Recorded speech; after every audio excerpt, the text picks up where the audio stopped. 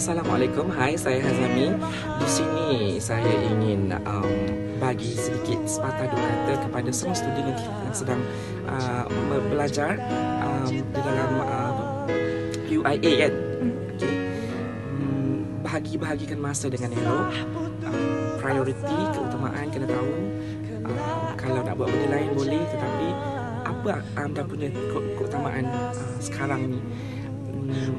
Um, take your time. Every day mesti kena settle something. Maksudnya um, kena selalu fokus. Um, janganlah main-main. Sangat main-main boleh. Macam saya saya main-main. Tetapi fokus keutamaan kena ada. So good luck to all